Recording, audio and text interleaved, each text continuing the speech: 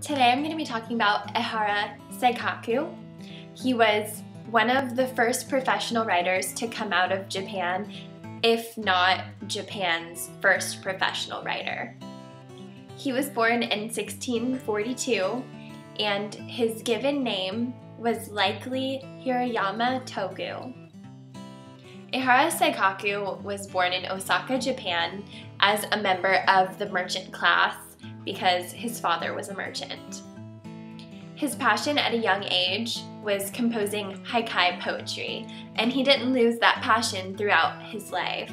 It wasn't as if Ihara Saikaku transitioned from writing poetry to prose, but he kind of combined the way he would compose his different literary devices and even in his novels, you can read a lot of aspects that are very poetic, such as when he's describing the settings of his stories.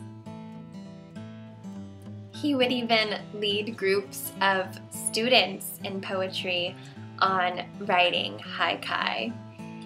And he continued this passion after he inherited the family business and began doing that work.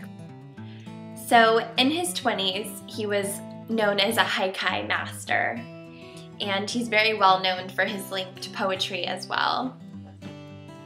In the 17th century, Saikaku was very well known for writing about taboo subjects, and he didn't shy away from being very blunt and real about what was going on in the urban centers in Japan. His content was very diverse and he tackled some of the taboo subjects that he tackled were life and their relation to desire, sex, love, and money. And that's as well as homosexuality and prostitution. So you can imagine in 17th century Japan, these were not things that were written about very commonly. So he would write of the floating world, and he became very closely related with that concept, which was portraying the urban centers of Japan relating to fleeting pleasures and desire. And in 17th century Japan, Saikaku's writing was very well known and it was considered very entertaining. But at that time, it wasn't necessarily looked upon as literature as it is today. At the age of 25 was a big turning point for Saikaku as his wife died very suddenly. And it's reported he may have lost a daughter around that time as well. It was at this point that Saikaku left the family business that he had inherited and went into retirement. But retirement for Saikaku did not mean to cease working. He definitely continued writing at a large quantity at that. There are conflicting reports as to if Saikaku became a monk after the death of his wife, or if he just traveled around Japan not living a monk's life, but as a simple observer and partaking in no kind of spiritual quest. But regardless of Saikaku's spiritual status at this time, it is known that he did continue writing and continued writing a lot.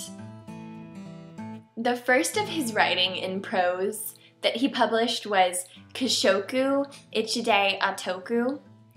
He put out the very successful Life of an Amorous Man in 1682. And in 1686, he published the work that we're going to be talking about today, which is Life of a Sensuous Woman. That's a publication of his that went on to become a national bestseller. Saikaku is very well known for the quantity of his work, and he would compose at an incredible speed. And there was one year between 1687 and 1688 that he actually put out 12 books.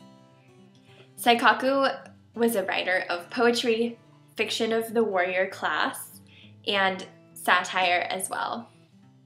The quantity of Saikaku's literary contributions, as well as his influence over the Japanese literary style, is far too voluptuous to summarize all of the different ways he has influenced the culture of Japanese writing today. He was just incredibly influential on Japanese literature and modern Japanese writers. Saikaku also formed many different concepts used today, and just one of which is the ukiyozoshi form of writing poetry. Ihara Saikaku died on September 3rd, 1693. And as I said, being one of the first professional writers out of Japan, he is incredibly renowned and has just left an incredible legacy, not only in Japan, but across the world. I'm going to be reading a passage today that comes out of A Monk's Wife in a Worldly Temple. And at this point of the story, it follows the woman once she has taken on the role of the priest's mistress and lives in his temple. And she starts out very sad and depressed, and she's kind of lost that adolescent love that she had spoken about at the beginning of the story. This is after she has become used to her surroundings. And it's very startling to me because it's one of the first signs that she's losing who she is. So it starts later, I got used to the situation, and I even came to enjoy it. When the priest went out to chant sutras at a parishioner's house on the night after a death or on a memorial day, I found myself waiting up late, wishing he would come back. And when he went out at dawn to pray over the ashes of a cremated person, I felt as if we were saying goodbye to each other, and I hated for him to be away, no matter how short a time it was. Even the smell of incense on his white robe clung to my body and seemed dear to me. After a while, I forgot my loneliness, and I started to like the sounds of gongs and cymbals at the ceremonies. At first, you know, I would hold my hands over my ears whenever I heard them, and my nose got used to the smell from the crematory.